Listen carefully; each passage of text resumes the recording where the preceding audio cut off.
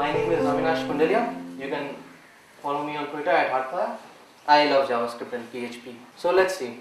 So as Crockford says, JavaScript is the world's most misunderstood language. And I agree, it's very confusing.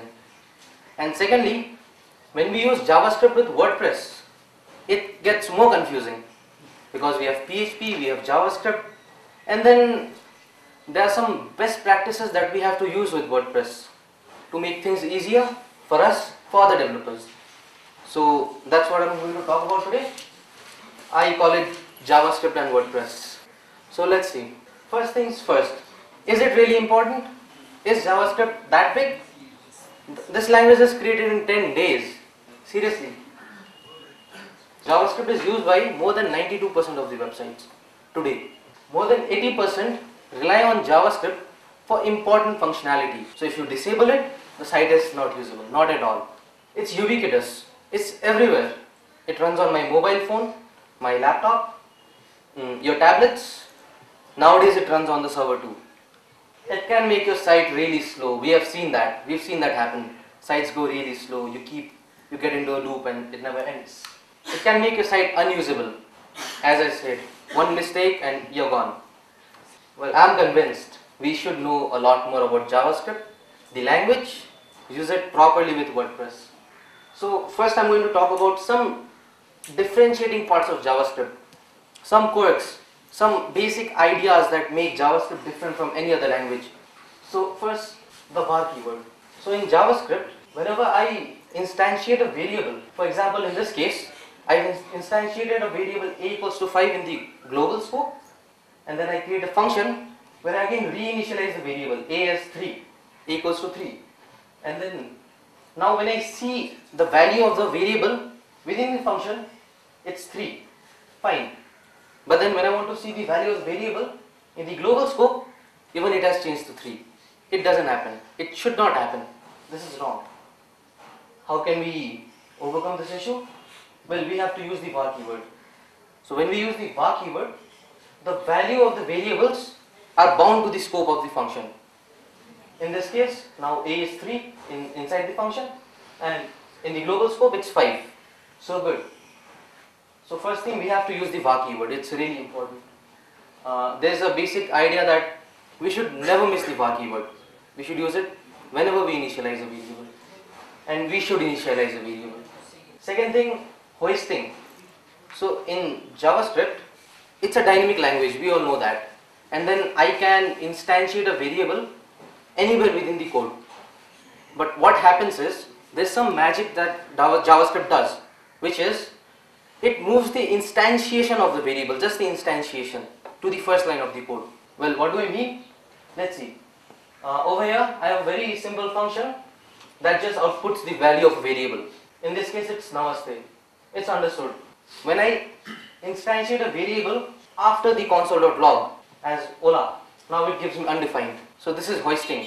So in this case, JavaScript automatically adds a line of code as var val equals to undefined and then the third line ends up being val equals to Ola. Yeah, let me repeat. Wherever I define my variable, the initialization will be hoisted to the top. This, well this is very confusing in JavaScript very very confusing. Had it been any other language, Ruby, uh, Python, this would be the object. That's it, as simple as that. It's very confusing in JavaScript. It depends on how the function is called. It also depends on the owner of the function. What do we mean? Let's see. If I have a simple function as what is this? Then in this case, this refers to window because in the browser, window is the global object. So as we can see, it depends on the owner of the function. In this case, it's owned by the root or the global object.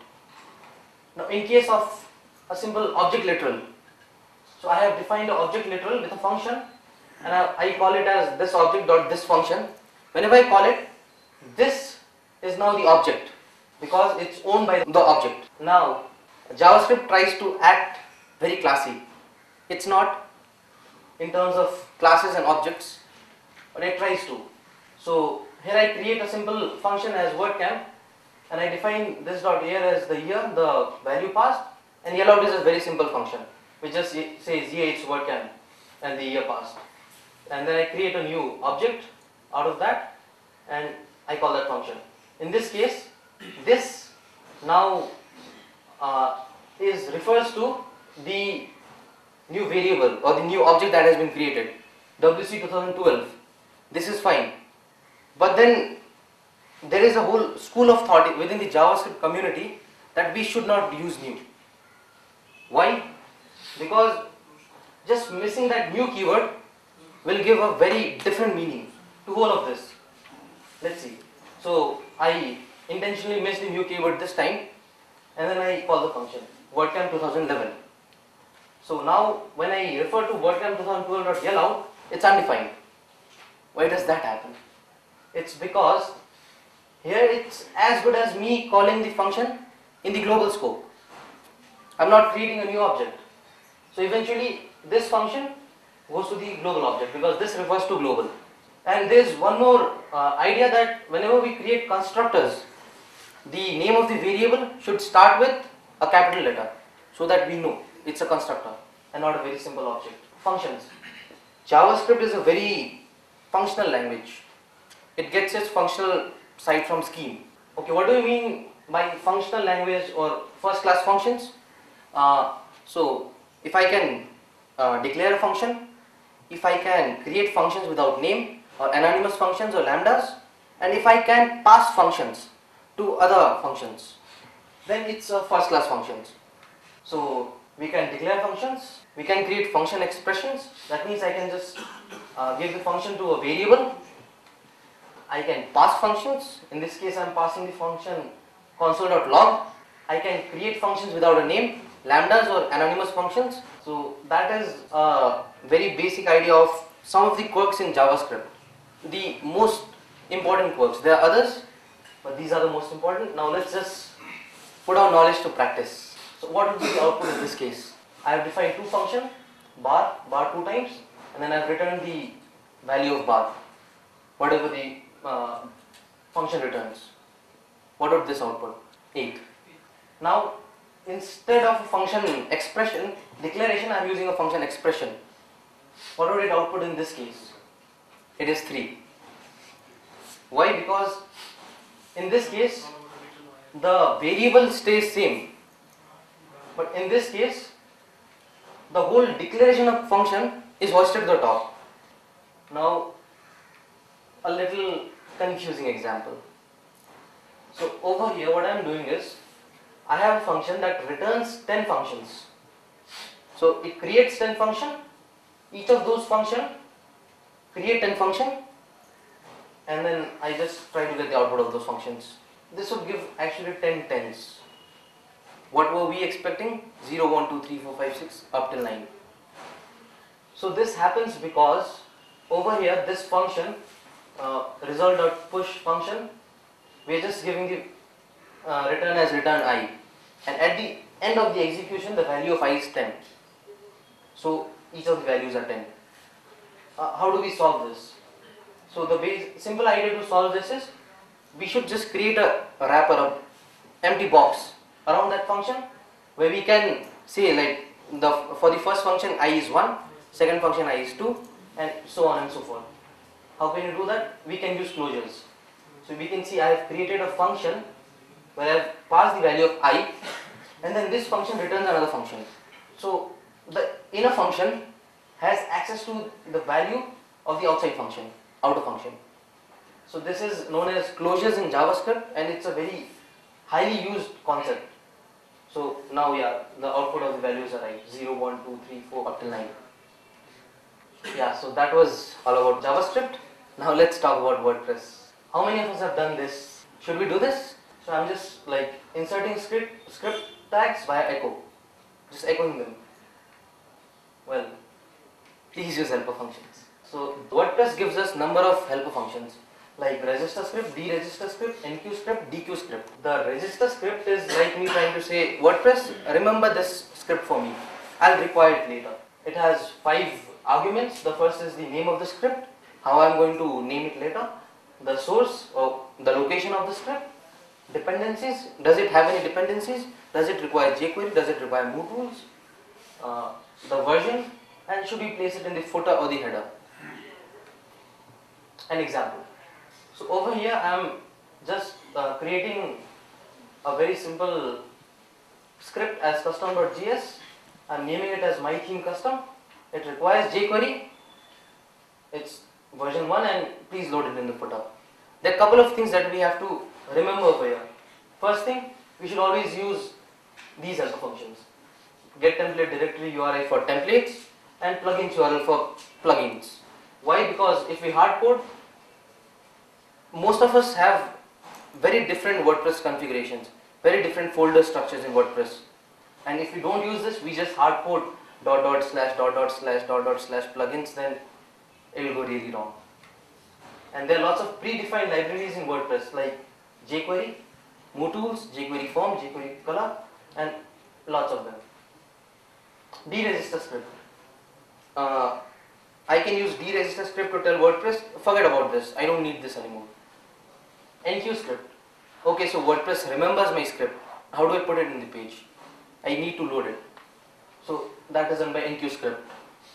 It again has the same five arguments. If I have not registered it, I can just give those five arguments. If I have registered it, I can just give the handle and I'm good to go. So example, uh, we know how to deregister a script, we know how to register a script and we know how to enqueue a script. So what we can do is, we can dequeue the jQuery that comes bundled with WordPress by default. We can load it from Google CDN because it's fast. I don't want to waste my bandwidth and then I can just enqueue it. So these simple three lines of code can actually remove the bundled jQuery from WordPress, put in CDNs and I don't have to change any core code for this. Dequeue script is just the opposite of enqueue. I can just, uh, let's say there is a plugin which adds lots of random mm, JavaScript files and I don't want that to happen. I can just use dequeue script and it will not be added to the page anymore. This is an example which shows us the power of uh, the dependencies. So let's see, I have one JavaScript file known as flex.js and then I have another JavaScript file known as slider.js. Slider.js requires flex.js and flex.js requires jQuery. So if I just enqueue the slider.js, in the end WordPress will do the whole magic for me. It will load slider.js, flex.js and jQuery all at once, just one line of enqueue. So this is a very good way of handling dependencies. Localized script. So uh, how many of us have echoed JavaScript from like within PHP? We have done that a lot of times. It's hard to manage it. It's really hard to manage it. And just to solve that problem, we have localized script. How can we use it? Well, it has three arguments. The handle, the handle of the script. So let's say I have a script in the earlier case, slider.js. The handle is homepage slider, and I have a couple of variables that I want to send to the script. So I'll just give the handle of that script name, the object name, how I want to refer it from JavaScript, and the variables. So what uh, what WordPress will do is, whenever that handle script is added to the page, enqueue to the page, then only it will put those variables. If you don't have that script, the variables are not required at all. A very simple example. This is a little vague example.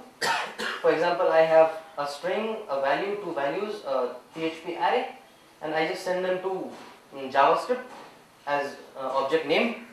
Later, I can uh, get them in JavaScript as object name dot some string, and it will give me the localized version of some string to translate. And this localized script is used a lot. I found one example in catch themes, simple catch. So what they do is, they are sending all the values to the sliders using localized script. Because if you are creating a theme for WordPress.org, they don't like you echoing JavaScript all over the page. If you do that, your theme will mostly be disqualified, they'll not accept it. If you use this, there is a higher chance of getting accepted. Okay, Ajax. We've done this a number of times. We used to do this. this was the Brahmastra for us, for Ajax, wasn't it? But yeah, please don't try this at home. What we have to do is use the WP Ajax action hook. So, a very simple example, I have a jQuery Ajax call to the page myajax.ajax URL which I have given it from the localized script. So generally all the Ajax requests would go to uh, wp admin slash admin ajax.php I suppose. And then yeah, so I'm sending a data to the uh, script, PHP script, and then I've given the action as add foobar. And whenever I get a response, just alert it. Now what do I do in the server? I just add this function. I hook a function to wp ajax add foobar. Add foobar is my action. And it would call this function prefix ajax add foobar. And yes, we can just do the magic over here. So this is the simplest, easiest way to do ajax in WordPress. Why? So there are lots of helper functions and uh, lots of good functions, but why do we use them? Why shouldn't I just echo it? Couple of reasons: better management, and then second thing, the most important thing is it's easy to write code. It's really hard to understand it. It's really hard to modify it later. So if you use this helper function, then later once I write a code, one of you can change it. One of you can just say dequeue my script and enqueue my script. It's as simple as that. Otherwise, you'll have to get into the core, change core files, which is not really bad. Because uh, later, when you upgrade it, update the files, well, your changes will be gone. So, summing up, we should always use var. This is very confusing, but once you understand it, it's really powerful. Functions, JavaScript has really good functional awesomeness. We should use functional constructs. That is how underscore JS, backbone JS are working these days. And then please use WordPress helper functions. Please, please do that. What next? We can read about this strict mode in JavaScript. We should always use strict. Then most of the ports in JavaScript will just go away. We should know more about closures. Once again, functional programming. There are lots of more perks in JavaScript, which can be a boon if we know about them. We can use them properly. There's a whole website dedicated to it named as JS Garden, JavaScript Garden. Please go make something awesome. You have the power of WordPress. Now, uh, thank you for coming to WordPress Nepal.